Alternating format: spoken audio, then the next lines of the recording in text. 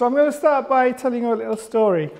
So there was this archer who was the best archer in the world, and he traveled around the world and in archery competitions, you know, won all the tournaments. And he went to this village, and he saw this arrow stuck on a target right there, in the middle of the red dot. Not just one, like a whole row of arrows.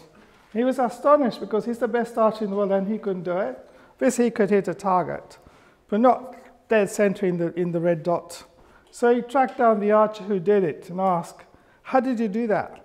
And the archer said, Well, that's easy. I just shoot the arrows first and paint the target afterwards. yeah. So, welcome to this completion celebration session of our participant of Be Free uh, course. Uh, last year, pan- the pandemic came and took all the, everyone's targets away.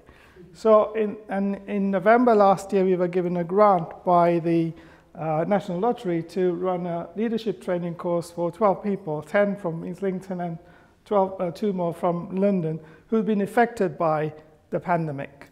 And so we, we did that and we taught these people to shoot arrows. And so today they're, they're going to share where the arrows landed with you. Uh, so that's a celebration of their achievements. And so if you're a guest, I mean, thank you very much for coming taking the invitation of the person who invited you to be here in the first place. Um, and I'd like to ask you to listen to our, our, participants in a specific way. Like, listen, like, imagine what they're sharing is something that's important to you in an area that you're not, you know, 100% at. You know, sometimes we're really good at work, but in, maybe in personal life something's not good. So imagine what would you get if you, if you had that kind of result in that area of life, and that'll give you value because later on Chris is going to do a, a work uh, a session with everyone, specifically for our guests, so you get some value for being here rather than just here to acknowledge your, your, the people who invited you. And for the participants, you know, this is your time to shine. As I said to you before, when you share what you got with somebody else and they get what you got, you get it more.